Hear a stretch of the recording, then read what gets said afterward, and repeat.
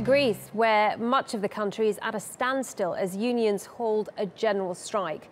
Lawyers, taxi drivers and farmers among those who have walked out in protest and proposed new pension reforms and other austerity measures. It comes as international lenders are in Athens for talks about the next instalment of Greece's bailout money. Duncan Crawford is in Athens.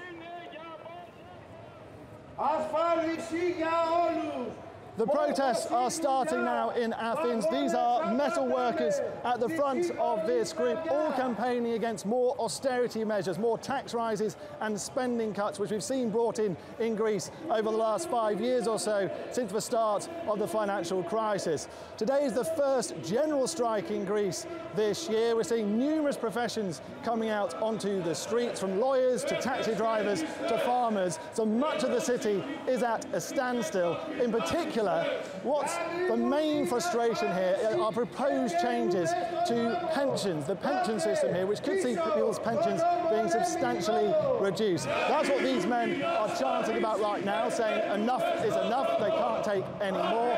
The government in Greece, though, say they need to bring in these pensions to ensure they get the next stage of their EU bailout cash, which will ensure that the country remains solvent and it can continue paying off its debts.